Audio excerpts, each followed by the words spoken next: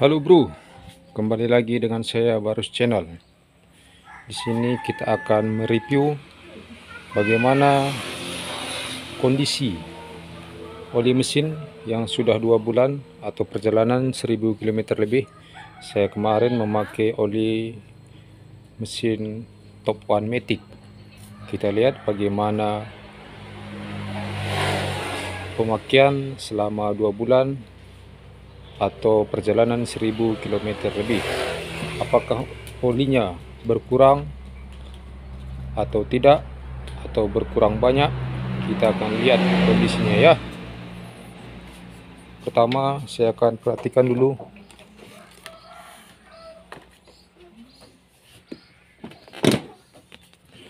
Bukti oli yang saya pakai sudah berjalan 1000 km lebih sebenarnya ini sudah lewat jauh dari 1000 km karena kemarin sempat rusak tali kilometernya. Jadi kilometer tidak berjalan kalau tidak salah selama seminggu atau dua minggu. Di sini kita melihat kilometernya sudah 64.300 lebih. Kemarin pada saat aku penggantian kilometernya itu 63.200 lebih. Dan kalau ditambahkan 1000 jadi 64.200 lebih. Di sini 64.300 sudah lewat. Itu pun kalau lihat dari sini bahkan kenyataannya harusnya lewat lagi dari itu karena kemarin sempat kilometer tidak berjalan. Kita akan lihat bagaimana kondisi oli top one matic yang sudah dipakai selama dua bulan ini kemarin penggantian oli bulan 6 sekarang sudah bulan 8 sudah tanggal 17 sudah lewat dua bulan. Perjalanan 10 km lebih. Kita akan buang olinya ya.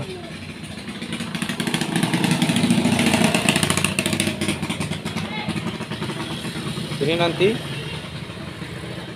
saya mau mencoba lagi oli yang lain tidak top one karena saya orang bengkel saya wajib tahu bagaimana kualitas dari setiap merek oli ya ini motor saya ya. Saya akan memakai oli enduro matic.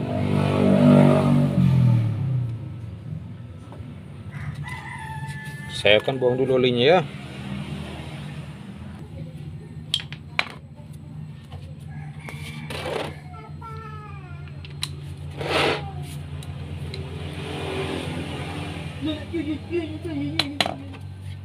ini perampungan olinya sudah kosong ya kan kawan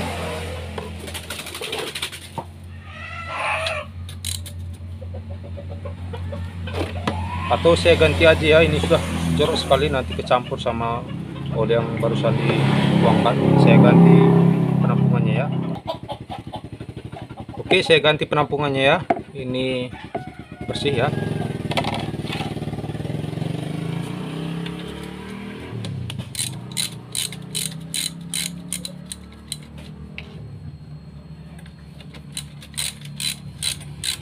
jadi yang kita buang ini ini oli top one matic kalau kawan-kawan rutin lihat video saya kemarin ada itu saya mengupload penggantian oli saya. Saya pakai oli top one.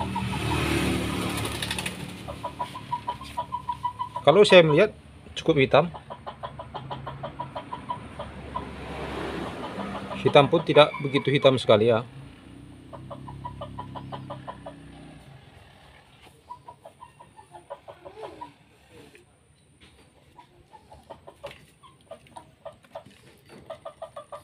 beginilah kondisinya. Selama dua bulan lebih perjalanan 1000 km lebih.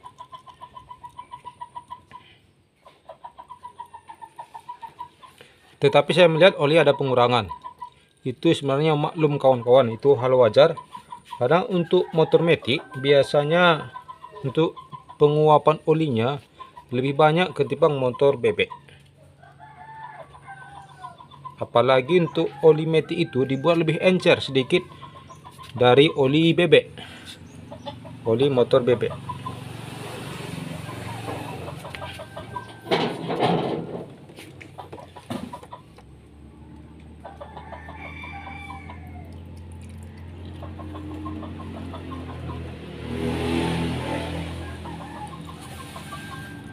Kalau tidak salah mungkin ini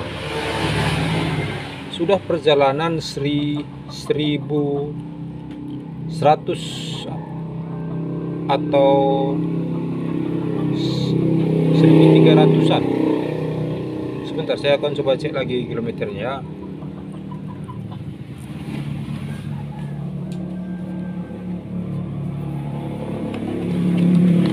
Kemarin saya saya penggantian di 63.200 sekarang 64.300 ini aja sudah 100 lebih. Ditambah lagi kalau hitung-hitung pas mati kilometernya ada kisaran 100 km karena pas pada saat seminggu dua minggu itu kami ada perjalanan jauh juga. Jadi mungkin lebih kurang. Ini perjalanan 1200 atau 1300 km karena di sini aja sudah lewat 100 km dari penggantian minimal oli itu 1000 km harusnya ganti oli berikutnya 64.200 kalau di sini 63.200 yang kan sini sudah 64.300 karena kemarin sempat mati kilometer mungkin kita, kita hitung lagi tambah 200 eh tambah 100 jadi ini lebih kurang pemakaian oli 1200 atau 1300 begitulah.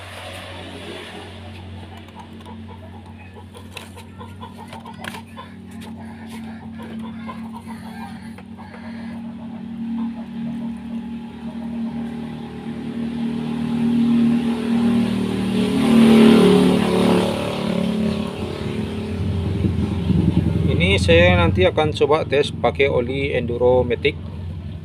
Sebenarnya kalau soal harga top one dibanding Enduro ini lebih mahal top one. Sebenarnya tergantung tipenya sih. Ada juga oli Enduro Matic yang tipenya yang agak mahal gitu. Ini saya memakai oli Enduro Matic yang sedang-sedang aja yang tipe sedang-sedang aja. Ini juga botol oli top one matic ini guys kebetulan oli top one matic saya lagi habis saya tidak bisa kasih penampakan botol oli top one maticnya ini sudah saya buka pula ya. Kita akan mengganti nanti memakai oli enduro matic. Ini saya jual dengan harga 45.000 sudah sama jasa pasang.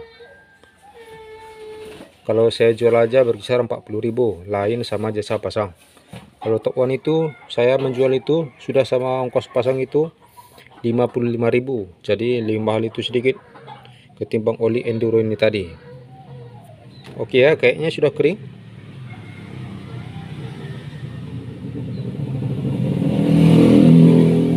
Tidak perlu kita semprot-semprot anginnya kan kawan ini aja sudah cukup lah ini.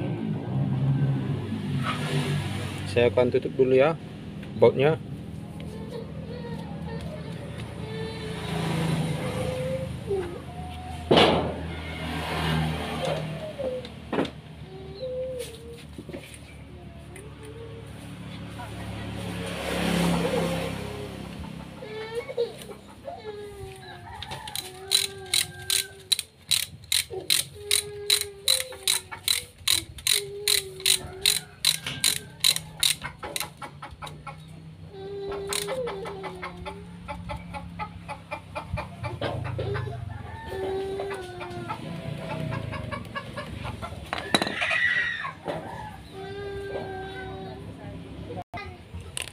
Oke, sebelum kita isi oli enduronya, kita tandai dulu kapasitas 0,8 nya atau 800 ml nya sampai mana.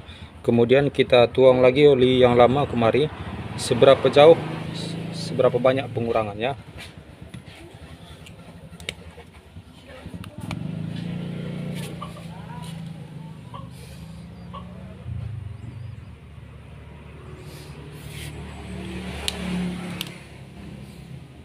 Oke di sini pas ukuran 800 mili. Saya isi dulu ya.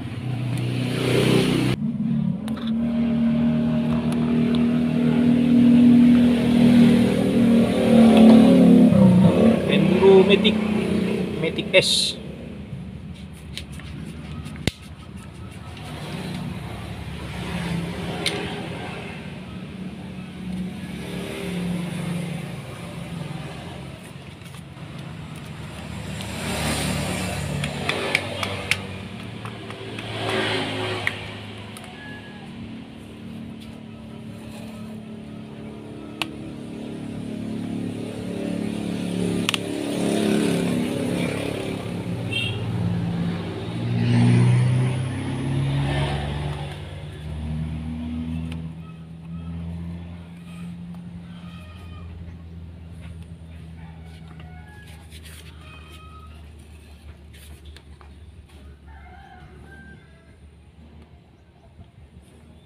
jadi warnanya agak bening ini guys. Warna kuning.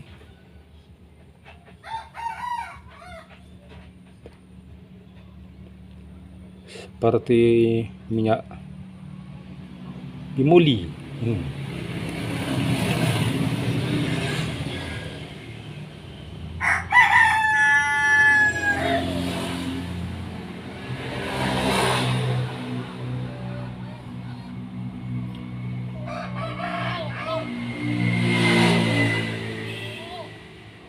Oke ya guys. Pada saat video selanjutnya nanti saya akan perlihatkan lagi bagaimana kondisi oli setelah pemakaian 1000 km atau 1000 km lebih untuk oli enduro Matic ini ya. Maaf kawan-kawan ini motor sudah langsung mau dipakai istri ya. Makanya saya buru-buru ini mengisi ini.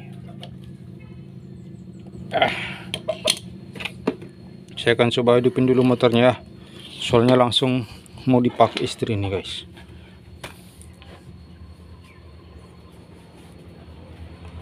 Waduh.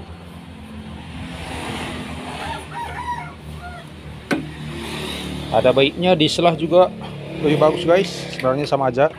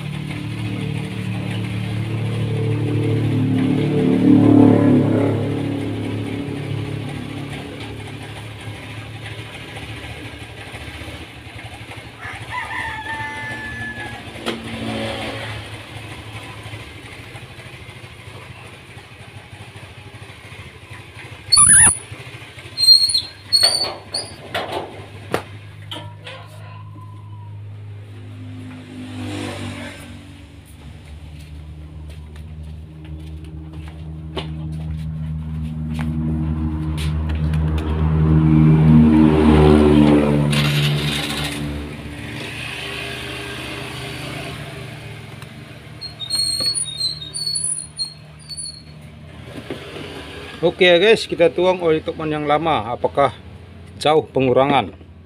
Kalau berkurang sudah pasti berkurang, karena oli metik rata-rata setelah pemakaian minimal 1000 km aja sudah berkurang dia guys. Makanya hati-hati untuk menggunakan motor metik. Kalau bisa itu paling lama pun perjalanan 1000 km guys. Kalau nggak nanti nggak awet mesin kalian.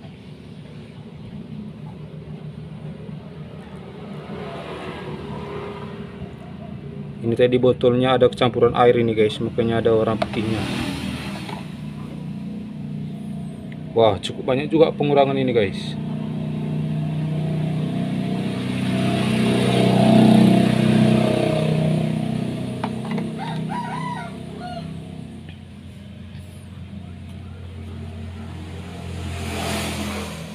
Ah itu guys. Hampir pula ini separuh ini guys berarti berarti kemarin pada saat putus kilometernya guys. Mungkin ada biasanya saya itu penggantian oli pada 1000 km pengurangannya hanya segini guys. Ini sampai kemari. Berarti perjalanan saya itu mungkin sampai 1500 atau bahkan lebih kemarin. Kemarin ada seminggu dua minggu tali kilometer putus jadi kilometer enggak berputar lagi guys. Tapi aman sih aman cuman ada baiknya. Pada perjalanan 1000 km kalian wajib mengganti oli. Kalau oli kalian standar seperti oli Tok Petrol bahkan Enduro. Sebenarnya Enduro ini lebih encer lagi guys ketimbang Top One One itu kekentalannya 10W 40 kalau tidak salah.